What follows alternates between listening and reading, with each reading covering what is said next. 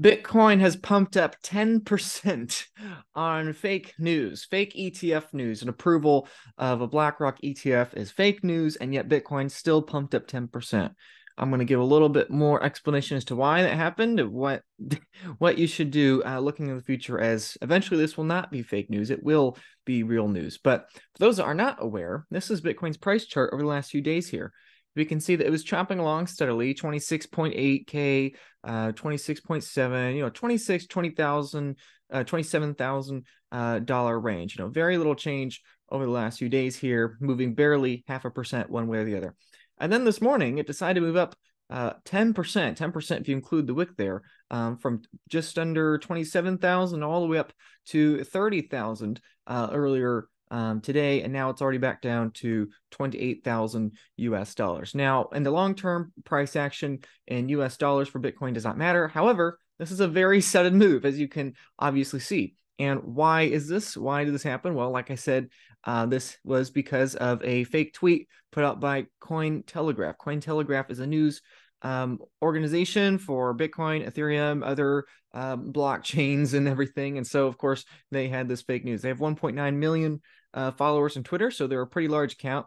And so someone there posted this tweet earlier uh, today where they all they had to say was breaking SEC approves iShares Bitcoin spot ETF, which is uh, which this is a uh, BlackRock uh, reportedly, and all it took was that for others to uh, re- for others to retweet that or repost that to comment more on it. I've heard rumors that it was even on Bloomberg Terminal for a little while, and so this fake news really uh, caught fire quickly, and as a result, um, had Bitcoin prices spike up a lot. Now, I'm actually very happy about that because this took a, lot of uh, leverage, a lot of speculation um, on Bitcoin's price. A lot of leverage traders were long. And so, first, the important thing the important lesson from this video is number one, to understand the fiat price doesn't matter for Bitcoin. But the number two is do not trade this. if you're trying to trade this and you're trying to predict Bitcoin's volatility, you're trying to make money to the upside or to the downside or to hedge your bets or whatever the case, uh, you are going to almost certainly um, get burnt. I know a lot of traders, experienced traders, and they say that they will trade anything besides Bitcoin. And this chart, again, is precisely why. Literally nothing could be happening. We can be having this crab market, this boring sideways market, and then all of a sudden, within a few hours here, you get this massive skyrocketing up and then this massive downwards action. You know, if you're trying to go long Bitcoin, or excuse me, trying to go short Bitcoin here, you were wiped out. And then likewise, if you're trying to go long Bitcoin eh, or anytime in here, thinking that this ETF news was legitimate, uh, then you get uh, destroyed to the downside. So please, please, whatever you do, do not trade Bitcoin. Have a long time horizon. Don't trade it on especially shorter time frames. Just don't. Just avoid your itch to trade at all costs. The volatility is very enticing, but please don't do it. I know a lot of people that have tried, and the stories are um, very depressing of people losing large amounts of money, especially when you understand Bitcoin. It is so painful to lose money that otherwise you could have had uh, just buying sats. Now, here's something to keep in mind. This is a tweet I made uh, a little bit earlier today. People are uh, really liking it. But anyway, I, I joked that people thought uh, this was a real pump. You know, this is just a 10% move. Okay. When the real ETF comes, when the real large money allocations come, okay, when that comes, we will not be looking at a 10% pump. Okay. Look at the speed at which this happened. Okay. The speed is remarkable. Okay. You had this common belief, this fake common belief that we had this ETF approval, and immediately Bitcoin just started having these massive green candles upwards. And people thought, oh my goodness, this is really big, you know, 5% candles, 8% candles, or whatever.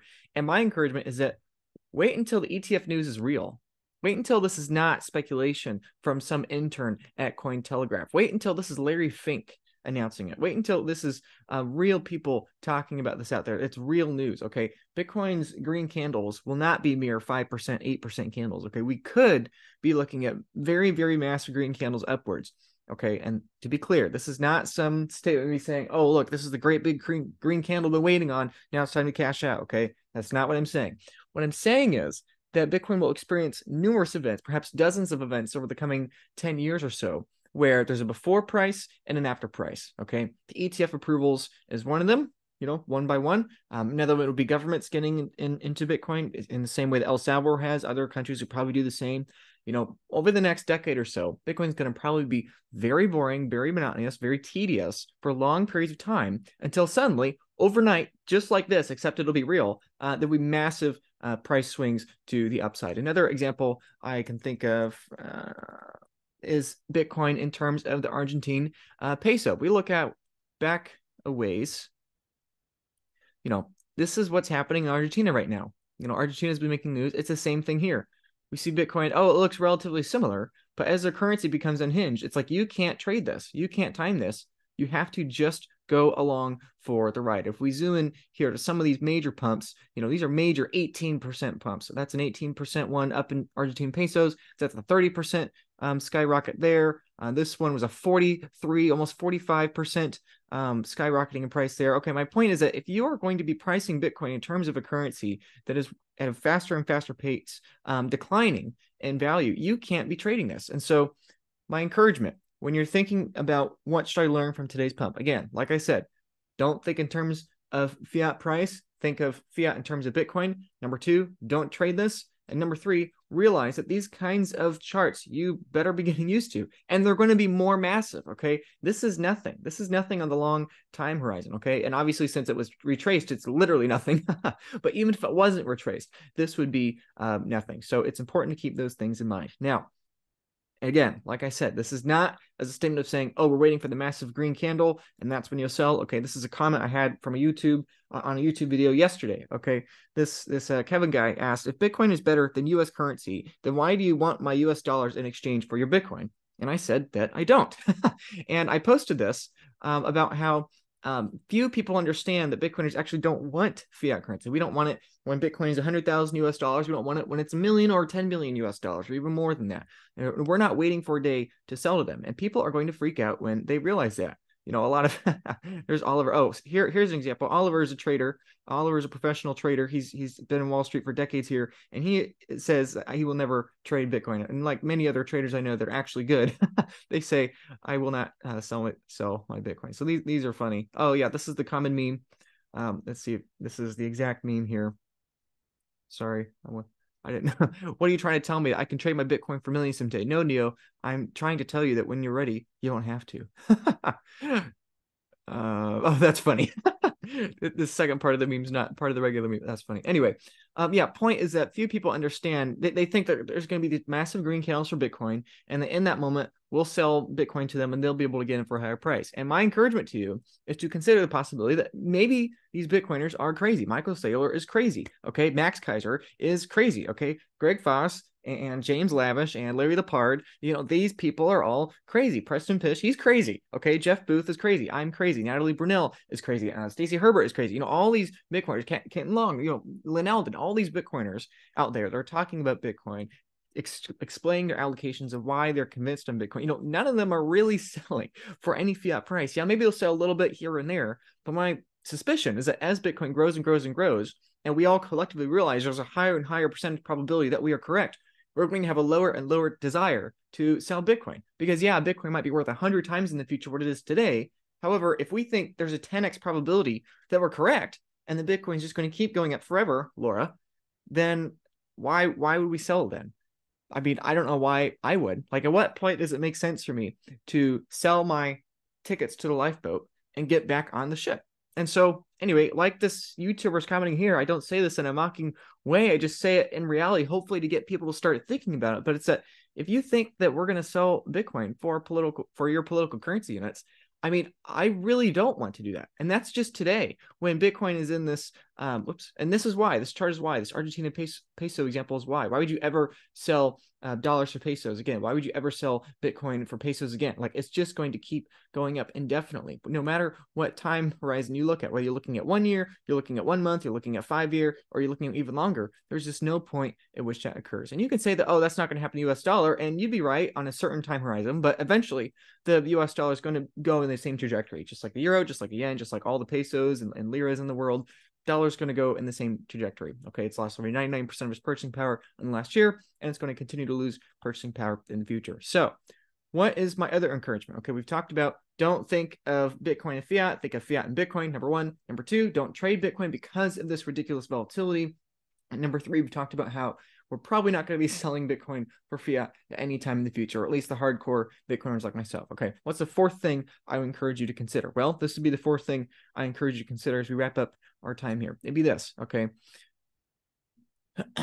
this will load um, about how Bitcoin could easily be a million dollars at 1% global adoption. Okay. Current adoption is roughly 1 to 3 million people that are using Bitcoin, own Bitcoin, have self custody Bitcoin. Okay. 1% global adoption is 80 million people. Okay. Okay. 1 to 3 million today, you know, depending on who you ask and depending on what metrics you want to use. Okay.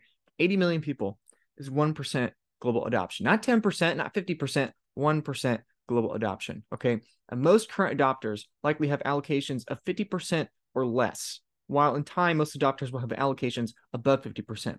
Again, like I was saying before, if we look at the future and Bitcoin's 100 times more expensive, however, everyone has 10 times the confidence in it and there's significantly less perceived risk and real risk it as the network just continues to grow, higher and higher allocations will be justified. Higher and higher percentage allocations will be justified by a wide variety of adopters and people holding it. So not only is the number of adopters going to go up, but the percent allocations are probably going to go up as well. And so if let's say theoretically we're right in the middle of 2 million people allocating, which I think perhaps even 2 million is a little optimistic. I think I think it's more on the 1 million side. But let's say if user is only 40x, allocation per user on average doubles, while simultaneously the remaining number of coins have, which is not which is not an absurd claim. Okay. That, that's that's the op, that's optimistic claim. Okay, we have the halving next year. We have another halving with within four years after that. Okay, simultaneously exchange coins are going down dramatically. It's like half, like that's assuming the worst case scenario. In all reality, it's probably going to be significantly less than half. Again, because of the ETFs, because everything else. Okay. You have a halving plus another halving within five years from the date of this recording. You have two halvings. So that's one fourth the remaining coins of block issuance, number one. Number two, you have the ETFs and major high net worth individuals sucking coins off exchanges like the Michael Saylors of the world. And number three, the exchange rate is already going down. So already they're being drained. So again, people think that I'm trying to pick moon math here, but I think I'm being as conservative as I possibly can be. Okay. A 40x allocation. Okay. Not not an, an 80x allocation. Okay. That'd be an 80x allocation if we're looking at 1 million adopters. Okay. But if we just take a little bit more reasonable and say a 40x users and allocations to get just to 1%, number one. Number two, they only double their allocation. So they only go from a 10% to a 20% allocation average. They only go from a 20% to a 40% allocation average, you know, whatever it is for them. And coins only half, not not a tenth, not an eighth, only half. And debasement is only 2x. Okay. When in reality, we, be, we could be looking at enough money printing, enough debasement to get that Argentine example where we have a 3x or 4x in debasement. Okay. So all four of these numbers independently, I would argue, are realistic, slightly leaning conservative, not optimistic for Bitcoin's price. And my question is, do you really think a million dollars is bullish? Okay. You know, take these numbers together, multiply them by current price. Okay. A million dollars. People need to adjust your unit bias up. And that's my hope for this video that you can be adjusting your unit bias up. And so, um, and then someone asked me a little below in in response to this um, you know i talked about how i think this is exciting you know these kinds of charts these kinds of uh, number go up days for bitcoin they are fun they are exciting but reality is that it's also um, it's also real that many people are not prepared for this. Okay, when we get these dramatic candles upwards, we'll need to have already gotten coins off exchanges, and we will need to already prepare our custody and estate plan. If this can load, yeah, extreme rapid upside means less time to prepare when this begins. Okay, if we are not looking at a fake Cointelegraph article and we're looking at a real news piece. Okay, if we're not looking at this fake news here, where we have um, a, a, fake, where we have a fake um, organization talking about fake news. Okay, if we're looking at real organization with real money, with real billions of dollars, we're not going to be looking at a tiny overnight candle like this. We're going to be looking at day after day after day of massive candles. Okay, and if you have not prepared by getting your coins off exchanges before that, you've made a really big mistake. If you're not prepared before that date, getting your estate plan and progress, I would argue that's a really big mistake. And so my encouragement here, and again, I'm biased here in promoting this, but at the end of the day, you know, I, I care much less if you use me or not, use us or not. I care much more that you do it.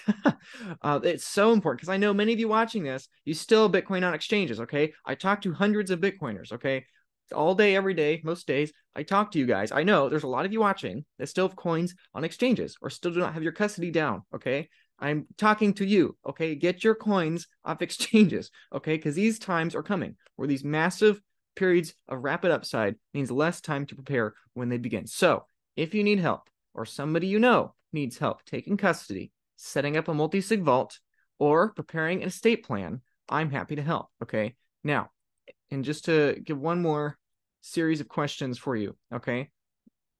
Okay. Question number one four questions for you. Question number one What happens to your Bitcoin if you die tonight? Do your family have the knowledge and skills to get and then manage your coins?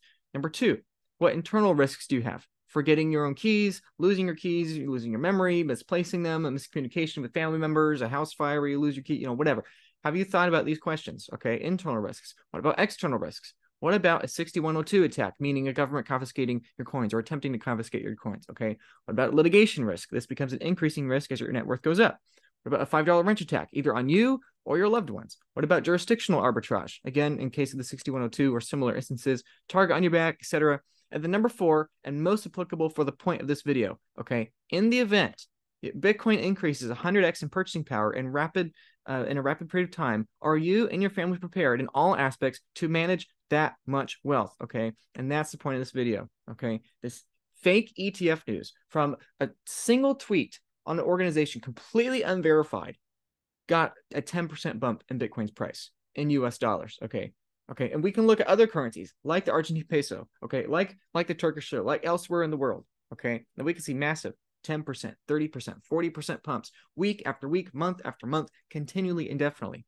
And so my question, my question here, number four is, are you prepared for when that begins? Okay. Because everyone simultaneously is going to be trying to take the coins off exchanges. Everyone simultaneously is going to be trying to learn about Bitcoin simultaneously. Everyone simultaneously at the same time is going to be demanding my time, every other Bitcoiner's time. Okay. Imagine all the Bitcoin educators suddenly have all their time sucked from high net worth individuals and corporations and other people that are trying to help them take self custody or trying to help them get their multi sig vault. And so my encouragement is whether you want a multi sig vault or not, I don't care. Okay. It'd be nice if you do, but most important is get your keys in your own hands, get your coins off exchanges. Okay. Hot wallets, figure them out. Cold wallets, hardware wallets, figure them out. Okay. If you want a multi sig vault, figure it out on your own. If you want a multi sig vault with collaborative custody, like the Bitcoin advisor, figure it out. Okay, do it now. Whatever you're going to do, and whatever you think about you're going to possibly want you're going to do, figure it out now. Okay, that is my encouragement. Okay, and again, I know I love you all, but many of you don't have your keys. many of you don't have your coins off exchanges yet. And so I encourage you to think about all the trade offs of all the different possible avenues for you to take. Okay. And I do think, I genuinely believe that a collaborative multi sig vault with a personal consultant is a valid consideration for most as we look to diversify our storage of Bitcoin holdings. So, okay.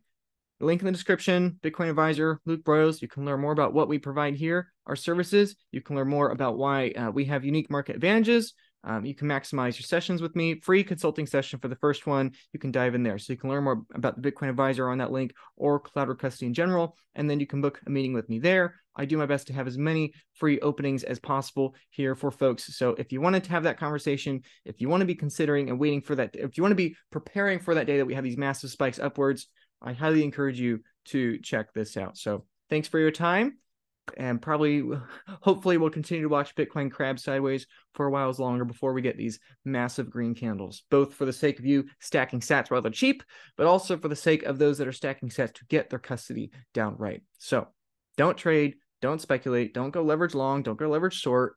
Get coins in your own custody and if you want to consider as a part of your custody plan a multi-sig uh, vault as well as a uh, estate plan check out the link bitcoin advisor in the description Thanks.